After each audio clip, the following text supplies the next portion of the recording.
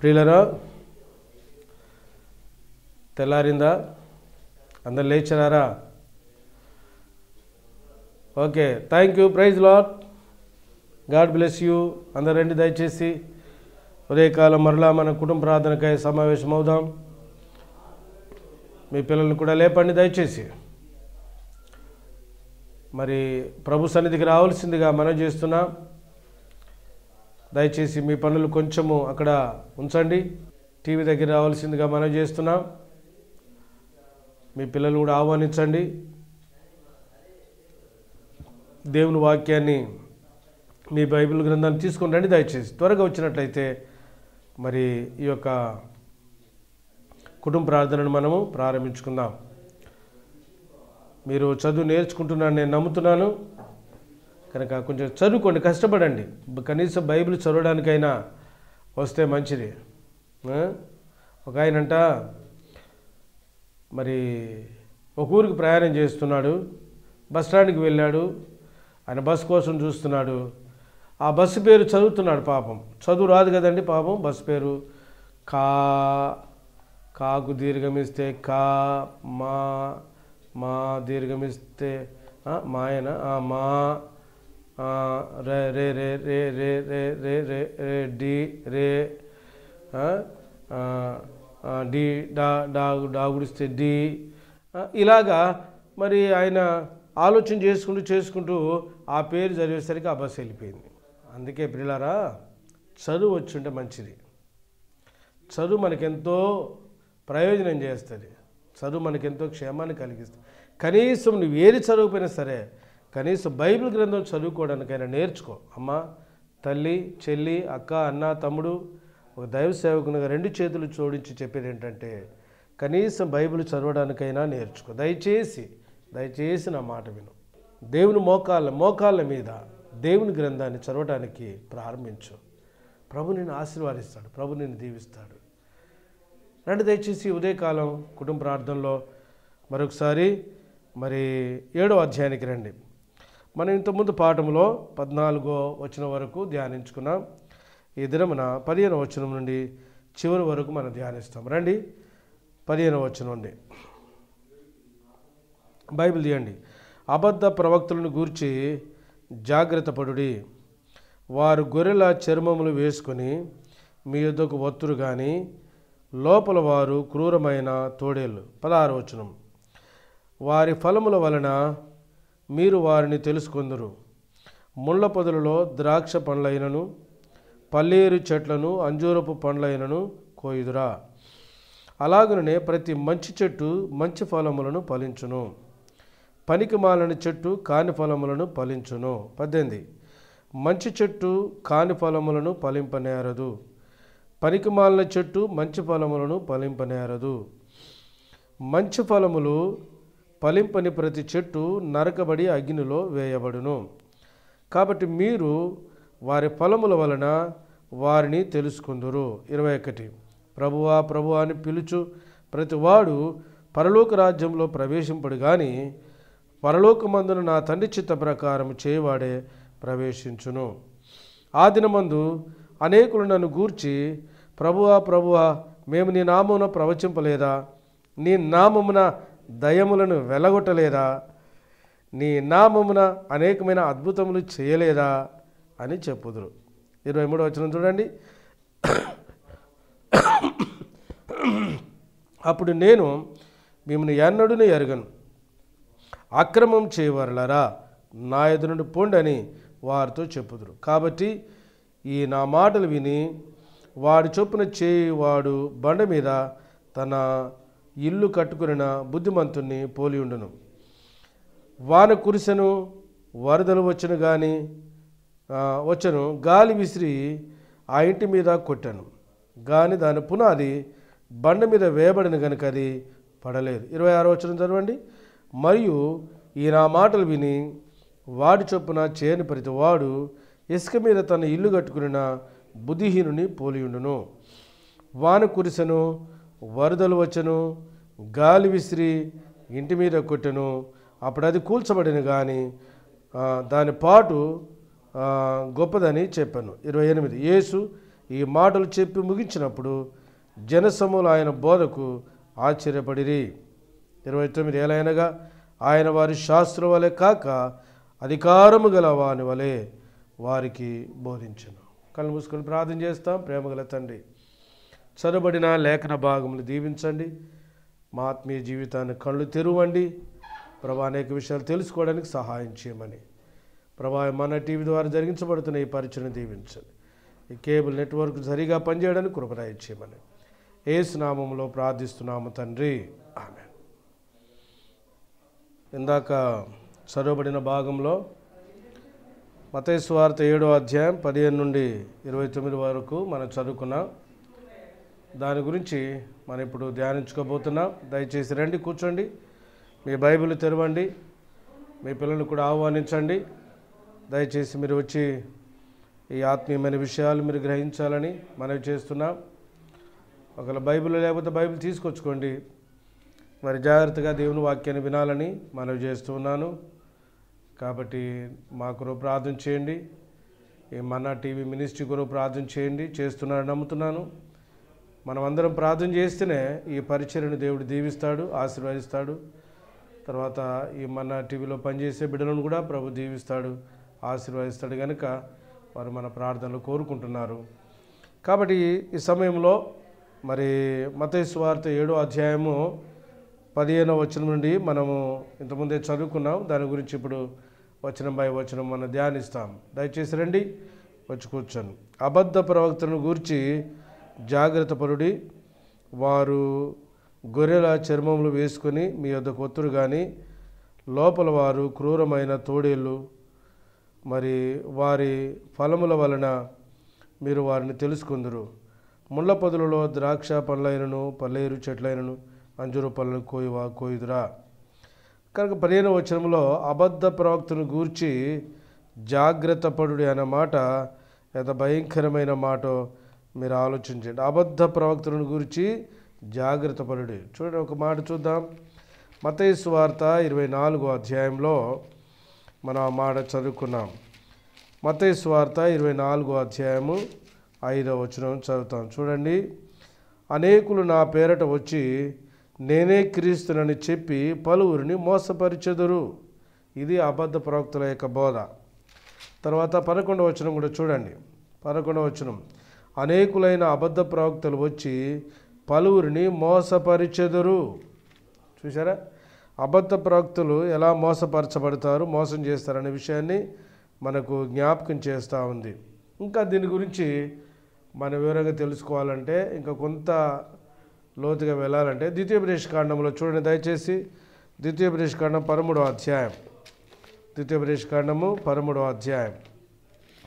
ఒకటి నుండి మరి కొన్ని వచనాలు చదివితే అక్కడ మనకు రాయబడి ద్వితీయ బ్రేష్ కాండము అధ్యాయం. చదివి వినిపిస్తా తర్వాత మీరు ధ్యానించండి. పదమూడవ అధ్యాయంలో మనం కనుక చదివితే ఒకటి నుండి మూడు వచనాలు చదివితే శ్రేష్టమైన సంగతులు అక్కడ మనకు పరిశుద్ధాత్మ దేవుడు రాసి ఉంచినాడు. ప్రవక్తే గాని కలలు కనువాడే గాని నీ మధ్య లేచి నీ ఎదుట సూచిక్రియనైనను మహత్కార్యములను చేసి నీవు ఎరగని ఇతర దేవతలను అనుసరించి పూజింతము రమ్మని చెప్పిన ఎడల మూడవచనం అతడి నీతో చెప్పిన సూచక్రియ కానీ మహత్కార్యము కానీ సంభవించినను. ఆ ప్రవక్త మాటలను కలలు కనువారి మాటలను వినకూడదు. ఏలైనగా మీరు మీ దేవుడైన యహోవాను మీ పూర్ణ హృదయంతోనూ మీ పూర్ణాత్మతోనూ ప్రేమించుచున్నారో లేదో తెలుసుకున్నట్టు మీ దేవుడని యహోవా మిమ్మను పరీక్షించుచున్నాడు. కళ్ళు కనే వాళ్ళకి కానీ మరి మహత్కారం చేసేవారిని కానీ సూచక్రియలు చేసేవారిని కానీ అలాంటి వారిని మీరు నమ్మొద్దు అంటున్నాడు ఇక్కడ. నమ్మకూడదు. కాబట్టి మీరు ఆత్మ వివేచన గ్రహింపు కలిగి మీరు జాగ్రత్తగా ఆలోచన చేయండి. మరి సరైన వ్యక్తులు ఎవరో సరైన వ్యక్తులు కాని వారెవరో ఆత్మీయులు ఎవరో ఆత్మీయులు కాని వారెవరో ఈ విషయాలు జాగ్రత్తగా మీరు దేవుని వాక్యానుసారంగా పరిశీలన చేసుకోవాల్సిందిగా మనవి చేస్తున్నాం. వాళ్ళు ఎలాగుంటారంట అబద్ధ ప్రవక్తలు? గొర్రెల చర్మమును వేసుకొని మీ యొద్ద కొత్తురు కానీ లోపల వారు క్రూరమైన తోడేళ్ళంట. గొర్రె చర్మాలు వేసుకొని వస్తారంట. ఎంతో మెత్తగా ఎంతో మంచి స్వభావం కలిగినట్టుగా దీనత్వం కలిగినట్టుగా ఎంతో నమ్రత కలిగినట్టుగా ఎంతో సాత్వికంతో మీ దగ్గరికి వస్తారంట కానీ వాళ్ళు లోపల ఎలా ఉంటారంట? క్రూరమైన తోడేళ్ళ స్వభావము కలిగి ఉంటారంట. అందుకనే జాగ్రత్తగా ఉండండి దినాల్లో. దేవుని వాక్యం బాగా చదివితే మీరు ఎక్కువగా ప్రార్థన చేసుకుంటే పరిశుద్ధాత్మ దేవుడే ఏ విషయాలు మీకు బయలుపరుస్తాడు? కనుక ఈ విషయాల్లో జాగ్రత్త మోసపోకూడదని మరి దైవ సేవకునిగా నేను మనవి చేస్తున్నాను. తర్వాత వాళ్ళ క్రియలు. పదహారు వారి పొలముల వలన మీరు వారిని తెలుసుకుందురు. ముళ్ళ పొదలలో ద్రాక్ష పండ్లైనను పల్లేరు చెట్లైనను అంజూర పండ్లైనను కోయుదురా. కనుక ముళ్ళ తుప్పల్లో ఇవి దొరకవు కదా. ఆ ఏ చెట్టుకు దొరకాలో ఆ చెట్టుకు దొరుకుతాయి. కాబట్టి అలాగనే నీతిమంతుని జీవితంలో నీతి నీ నీతియుక్తమైన క్రియలు కనబడతాయి. అబద్ధ ప్రవక్త విషయంలో అబద్ధ సంబంధమైన క్రియలు కనబడతాయి. కాబట్టి చెట్టును చూసి ఫలాలు ఏంటో మనం తెలుసుకోవాలి. చెట్టుని చూసి ఆ చెట్టు స్వభావం ఏంటో మనం ఎరగాలి. అదే ఇక్కడ గ్రంథకర్త చక్కగా రాస్తున్నాడు. కనుక మీరు కూడా జాగ్రత్తగా ఉండండి. పదిహేడవ వచనం. అలాగుననే ప్రతి మంచి చెట్టు మంచి ఫలములను ఫలించును పనికిమాల చెట్టు కాని ఫలములను ఫలించు అంతే కదండి?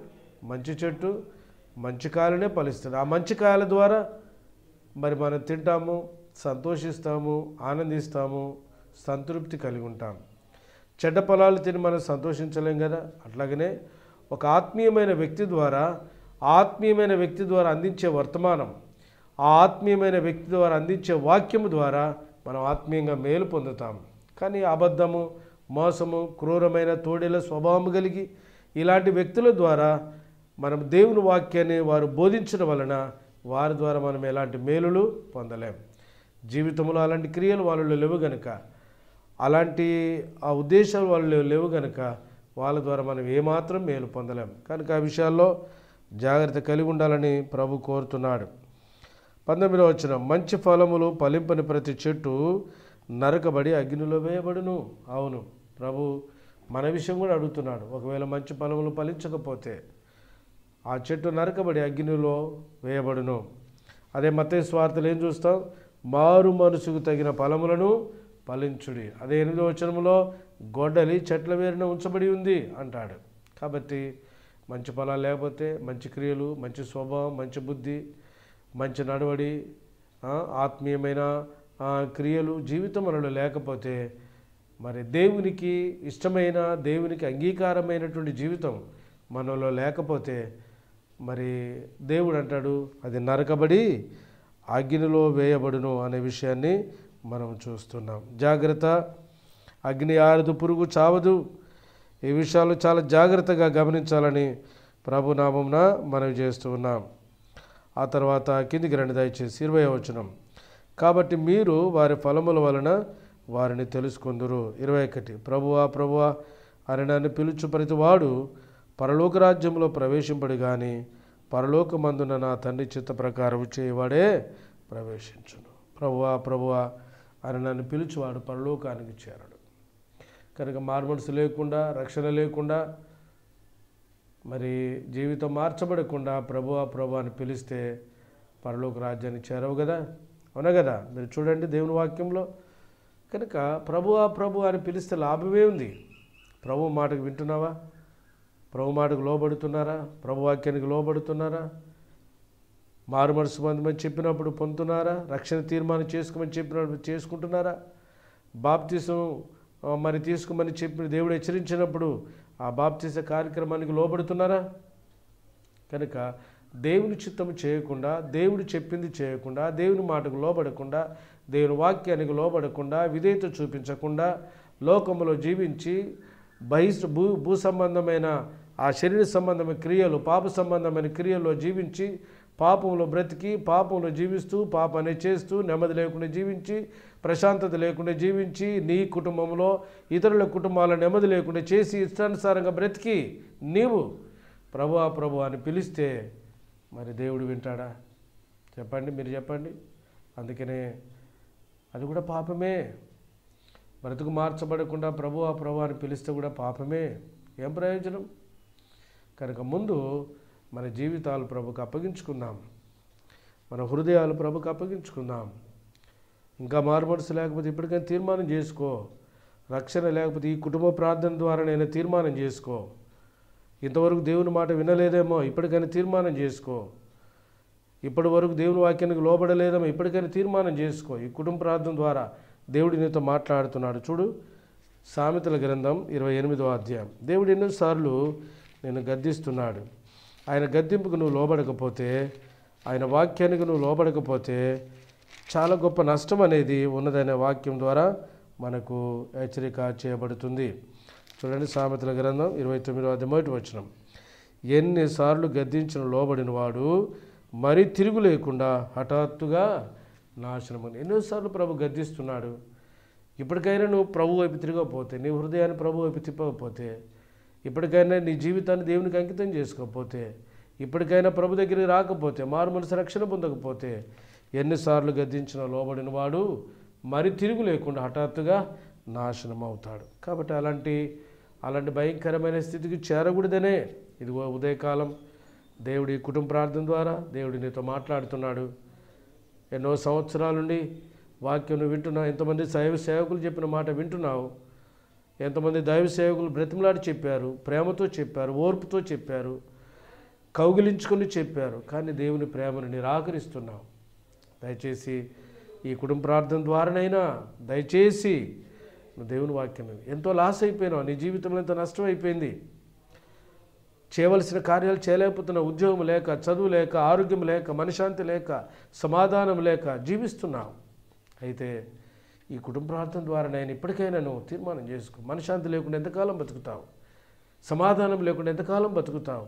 అది దేవుని ఉద్దేశం కాదు కానీ దేవుడిను నువ్వు ఆయన యొక్క చిత్తంలోనికి రావాలనేదే దేవుని యొక్క ఉద్దేశం. ఆయన చిత్తంలో నువ్వు ఉండాలనేదే దేవుని ప్రణాళిక కలిగి ఉంటున్నాం. రండి ముందుకు వెళ్దాం. ఇరవై రెండవ వచనం. ఆ దినమందు అనేకులు నన్ను చూచి ప్రభా ప్రభా మేము నీ నామమును ప్రవచింపలేదా? నీ నామమున దయమును వెలగొట్టలేదా? నీ నామమున అనేకమైన అద్భుతములు చేయలేదా? అని చెప్పుదురు. అప్పుడు అంటాడంట దేవుడు ఇరవై మూడవ వచనం అప్పుడు నేను మిమ్మను ఎన్నడును ఎరగను. అక్రమం చేయవారులారా నా ఎదురు నుండి పోండని వారితో చెప్పుదురు. కాబట్టి చాలామంది అప్పుడు అంటారంట ప్రభా నీ నామను ప్రవచించినావు నీ నామను దయాలు వెలగొట్టినాం నీ నామను అనేక అద్భుతాలు చేశాం అని చెప్తారంట. ప్రభు అంటాడు అక్రమం చేయవారులారా మీరు నా ఎదురు. నేను చెప్పానా మీకు? ప్రవచించమని చెప్పానా? దయాల వెలుగొట్టమని చెప్పానా? అద్భుతములు చేయమని నేను మీకు చెప్పానా? మరి నా నామని చేశారని మీరు ఎలా చెప్తున్నారు? కనుక అక్రమం చేయవారులారా? నా ఎదురు నుండి వెళ్ళిపోండి కంచి అంటాడంట. కాబట్టి ఇలాంటి విషయాలు మనం కొంచెం తలంచితే మంచిది. ఇలాంటి ఆలోచనలు కొంచెం తలస్తే మంచిది. యేసుప్రభు వారు కూడా బైబిల్లో మరి అద్భుతాలు రోగుల కొరకు స్వస్థతల కొరకు ఆయన పోరాడలేదు దాని కొరకు యేసుప్రభు ఎక్కడ మీటింగ్లు పెట్టలేదు ఈ స్వస్థత కుడికలు ఆ కుడికలు ఈ కుడికలని ఎక్కడ మీటింగ్లు పెట్టలేదు ఆయన. ఆయన వచ్చిన వారిని కొరకు ప్రార్థన చేశాడు. విశ్వాసం ద్వారా ప్రార్థన చేసి వాళ్ళు బాగైపోయినారే కానీ ఇలాంటి కాళ్ళు ఎప్పుడు పెట్టలేను బైబిల్ ఏం చెప్తుంది? నీ విశ్వాసమే నేను స్వస్థపరచును బాగు చేయనని. కాబట్టి నేను దీన్ని మరి వేరే విధానంలో తీర్పు తీర్చినట్టుగా నేను చెప్పట్లేదు కానీ కొంత మీరే థింక్ చేయండి ఆలోచన చేయమని ప్రభునామమున మనవి చేస్తూ ఉన్నాను. తర్వాత చూడండి ఇరవై నాలుగు వచనం. రండి. మతయి సువార్త ఏడవ అధ్యాయము ఇరవై నాలుగు వచ్చినండి కాబట్టి ఈ నా మాటలు విని వాడు చొప్పున చేయి ప్రతివాడు బండ మీద తన ఇల్లు కట్టుకున్న బుద్ధిమంతుణ్ణి పోలియుండును వాన కురిసెను వరదలు వచ్చను గాలి విసిరి ఆ ఇంటి మీద కొట్టాను. గానది పునాది బండ మీద వేయబడిన కనుక అది పడలేదు. కనుక రెండు గృహాలు కనబడుతున్నాయి. ఇరవై నాలుగు ఇరవై ఐదు వచనాల్లో ఒక గృహము ఇరవై ఆరు ఇరవై ఏడు వచనాల్లో ఒక గృహము కనబడుతుంది. ఇరవై నాలుగు ఇరవై ఐదు వచనాల్లో బుద్ధిమంతుడు దేవుని మాట వినేమో బండ మీద ఇల్లు కట్టుకున్నాడంట. ఇరవై ఆరు ఇరవై ఏడు వచనాల్లో బుద్ధిహీనుడు దేవుని మాట వినకుండా ఇసుక మీద కట్టుకున్నాడంట ఇల్లు. వీళ్ళ వీళ్ళిద్దరిలో ఎవరు గొప్ప వాళ్ళు చెప్పండి? మీరు ఆలోచన చేయండి. బుద్ధిమంతుడేమో దేవుని మాటలు విన్నాడు. దేవుని వాక్యానికి లోపరుచుకున్నాడు దేవుని చిత్తానికి లోపరుచుకున్నాడు దేవుని మాటలు విని దేవుని మాట వినడానికి ఆయన ప్రాముఖ్యత చూపించాడు. ప్రాముఖ్యత చూపించాడు. దేవుని మాటలు విని మరి జీవితం సరి చేసుకోవాలని ప్రాముఖ్యత చూపించాడు. చూడండి లేఖనాల్లో లూకాస్ వార్త ఆరో అధ్యాయం. నలభై ఏడు నుండి నలభై తొమ్మిది వచనాలు చదువుదాం. లూకాస్ వార్త ఆరో అధ్యాయము నలభై ఏడు నుండి నలభై ఎనిమిది వచ్చి నా యొద్దకు వచ్చి నా మాటలు విని వాడు చొప్పున చేయి ప్రతివాడును ప్రతివాడును ఎవను పోలియుండునో మీకు తెలియజేతును వాడు ఇల్లు కట్టవలనని ఉండి లోతుగా త్రవ్వి బండ మీద పునాది వేసిన వాడిని పోలియుండును వరద వచ్చి ప్రవాహము ఆ ఇంటి మీద వడిగా కొట్టినను అది బావుగా కట్టబడినందున దాని కదిలింపలేకపోయాను. నలభై తొమ్మిది. అయితే నా మాటలు వినియు చేయని వాడు పునాది వేయక నేల మీద ఇల్లు కట్టిన వాడిని పోలియుండును. ప్రవాహం దాని మీద వడిగా కొట్టగానే అది కూలబడెను. ఆ ఇంటి పాటు గొప్పదని చెప్పను ఇప్పుడు ఎవరు గొప్పవాళ్ళు దేవుని మాటలు విని పునాది బాగా వేసుకొని మంచి ఇల్లు కట్టుకున్నాడు కాబట్టి వరదలు వచ్చింది గాలి వచ్చింది ఇంటి మీద కొట్టింది అది పడిపోలేదు. ఇంకొకడు నాడు దేవుని వాక్యం విన్నాడంట కానీ దాని ప్రకారం చేయలేదంట. దాని ప్రకారం చేయక పునాది వేయక ఇల్లు భూమి మీద ఇల్లు కట్టుకున్నాడు కానీ అదేమైపోయిందంట? వరద వచ్చింది గాలి వచ్చింది వాన వచ్చింది ఆ ఇల్లు కొట్టబడింది. ఇక్కడ ఆత్మీయమైన సత్యం ఏంటంటే నీవు దేవుని వాక్యానికి లోబడి ముందు నువ్వు మారుమనసు పొంది నువ్వు రక్షణ పొంది నువ్వు తీర్మానం చేసుకొని మారు మనసు గురించిన తీర్మాన రక్షణ తీర్మానం చేసుకొని నీ జీవితాన్ని దేవునికి అప్పగించుకొని నువ్వు దేవుని మాట విని దేవుని మాట ప్రకారం నీ జీవించాలని కోరితే బండ మీద నీ ఇల్లును కట్టుకో. అంటే బండ అంటే క్రీస్తు. క్రీస్తులో దేవునిలో నీ పునాది వేసుకో. మొదటి కొరంతి పది నాలుగులు ఏమన్నాడంటే ఆ బండ క్రీస్తే. క్రీస్తు అనే బండ మీద నీ ఆత్మీయ పునాది వేసుకుంటే నువ్వు ఆత్మీయంగా కట్టుకుంటే ఆత్మీయంగా నువ్వు ఇంటి మీద ఆ ఇల్లును కట్టుకుంటే వరదలు వచ్చినా గాలి వచ్చినా తుఫాను వచ్చినా ఆ ఇల్లు పడిపోదు. ఇది ఆత్మీయమైన ఇంటిని గురించి మనకు బోధిస్తుంది. కాబట్టి ఆత్మీయంగా నువ్వు కట్టుకుంటే క్రీస్తులో కట్టుకుంటే ఆత్మీయంగా కట్టుకుంటే నువ్వు ఆత్మీయంగా ఎరుగుతావు ఆత్మీయంగా మేలు పొందుతావు. చూడండి ఆత్మీయంగా కట్టుకోవడం అంటే రక్షించబడ్డావు మరి మారుమనసు పొందావు ఆత్మీయంగా నువ్వు ప్రభు కొరకు జీవించాలని ఇష్టపడుతున్నావు. అయితే నువ్వు ఆత్మీయంగా ఎదగాలంటే నువ్వు స్థిరంగా ఉండాలంటే వాన వచ్చినా వరదలు వచ్చినా కష్టాలు వచ్చినా నువ్వు స్థిరంగా ఉండాలంటే ఏంటిది? వాన వరదలు అంటే ఏంటిది? లోకంలో కష్టాలు ఈ లోకంలో బాధలు శ్రమలు ఇబ్బందులు పోరాటాలు ఆర్థికమైన విశ్వాస సంబంధమైనవి భూ సంబంధమైన అనేక రకాలైన తుఫాను గాలు రావచ్చు. అయితే ఇవన్నీ తట్టుకొని ప్రభు కొరకు నువ్వు నిలబడాలంటే ఈ దైవ క్రమంలో నువ్వు ఉండాలి. దైవ క్రమంలో నువ్వు జీవించినప్పుడే నువ్వు ఆత్మీయంగా నీ నీ ఆత్మీయమైన ఇల్లును నువ్వు కట్టుకోగలుగుతావు. చూడండి ఆ పుస్తక కార్యం రెండవ అధ్యాయం నలభై రెండులో శ్రేష్టమైన మాట నేను చదువుతాను. చూడండి బైబిల్ తీయండి. అపోస్తులక రెండు నలభై రెండు. వీరు అపోస్తుల బోధ ఎందును సహవాసమందును రొట్టె విరుచుట ఎందును ప్రార్థన చేయట ఎందును ఎడతెగక ఉండిరి. ఈ నాలుగు అవసరమే. మంచానికి నాలుగు కాళ్ళు ఉంటాయి. కుర్చీకి నాలుగు కాళ్ళు ఉంటాయి. కాబట్టి ఈ నాలుగు ఉండటం వలనే కుర్చీ ఆగుతుంది మంచం ఆగుతుంది. టేబుల్కు నాలుగు కాళ్ళు ఉంటాయి. టేబుల్ ఆగుతుంది. ఒక కాలు లేకపోయినా అది పడిపోతుంది. అంటే ఆత్మీయ జీవితంలో నువ్వు ఇక దైవ క్రమంలో ఉన్నప్పుడే నువ్వు ఆత్మీయంగా కట్టుకున్నప్పుడే అది స్థిరంగా నిలబడుతుంది. సామెతల గ్రంథంలో నీతిమంతుని ఇల్లు నిలుచును అని రాయబడి ఉంది. ఎందుకు నిలుస్తుంది? అది బండ మీద వేయబడిన పునాది బండ మీద కట్టబడిన ఇల్లు. కనుక నీ కుటుంబాన్ని నీ ఆత్మీయ జీవితాన్ని బండ మీద కట్టుకుంటున్నావా? ఈ బండ మీద కట్టుకున్న బుద్ధిమంతుని పోలి ఉన్నావా? కనుక వరదలు వచ్చినా గాలి వచ్చినా పడిపోకుండా ప్రభు కొర స్థిరంగా నిలబడడానికి ఇష్టపడుతున్నావా? చదువుకోండి వాక్యం చెబుతుంది మీరు కూడా ఆలోచన చేయండి కొంత. మీరు కూడా తలంచండి. నీ ఆత్మీయమైన ఇల్లు ఎక్కడ కట్టుకుంటున్నావు?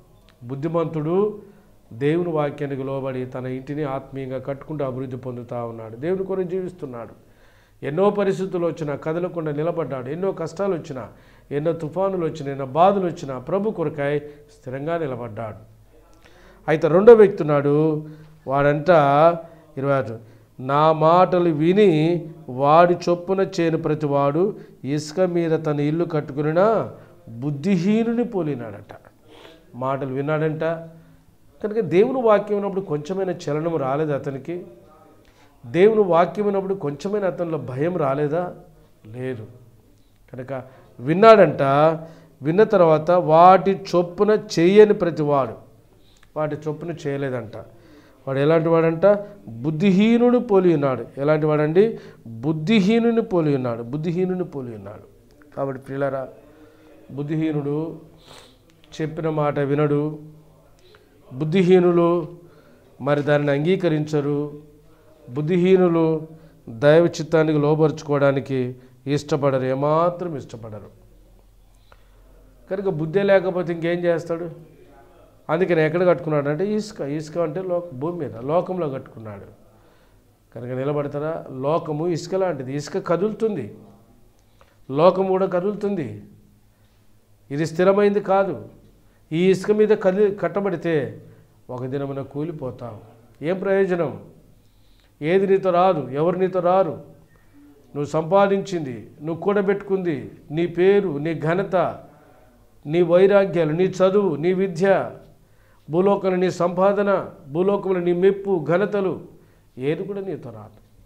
నువ్వు బుద్ధిహీనంగా ప్రవర్తించి ఇసుక మీద కట్టుకుంటే దీంతోనే కొలాప్స్ కొలాప్స్ అయిపోతుంది. అవునా కదా?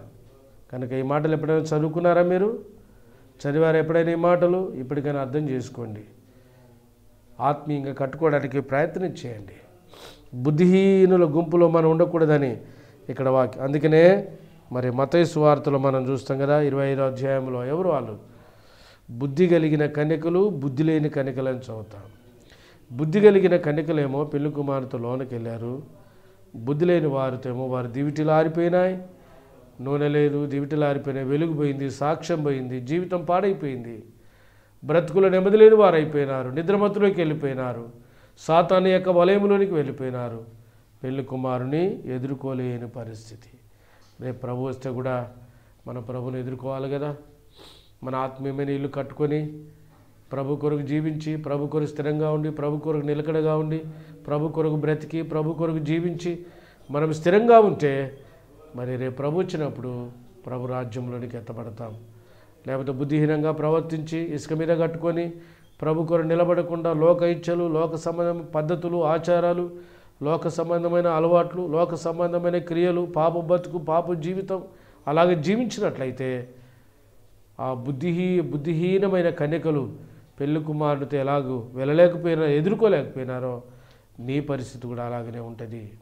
కాబట్టి గుర్తుపెట్టుకో ఎప్పటికైనా తీర్మానం చేసుకో అయ్యా. ఈ కుటుంబ ప్రార్థన ద్వారా నాతో మాట్లాడినావు నాయన. నేను ఇంకా బుద్ధిహీనంగా ఉండను తండ్రి. బుద్ధిహీనంగా ప్రవర్తించను ప్రభా నేను బుద్ధిహీనంగా జీవించను నాయన. నా ఇల్లు ఇప్పటికే నా జీవితం వేస్ట్ అయిపోయింది. నెమ్మది లేకుండా జీవిస్తున్నాను సంతోషం లేకుండా బ్రతుకుతున్నా ప్రభా ఎక్కడికెక్కడికో తిరిగాను ఏమేమి ప్రయత్నాలు నా ప్రయత్నాలన్నీ వ్యర్థమైపోయినాయి. నా ప్రయత్నాలన్నీ విఫలమైపోయినాయి. నా ఆలోచనలన్నీ విఫలమైపోయినాయి. నేనేదో చేయాలనుకున్నా కానీ ఎక్కడ వర్ధిల్లలేకపోతున్నా. ఏ కార్యాన్ని చూడలేకపోతున్నా ఏ మేలును చూడలేకపోతున్నా ప్రభా. నా స్వబుద్ధిని ఆధారం చేసుకుని బ్రతుకుతున్న ప్రభా. దయతో నన్ను క్షమించు. ఈ ఉదయకాలం కుటుంబ ప్రార్థన ద్వారా నాతో మాట్లాడినావు ప్రభా.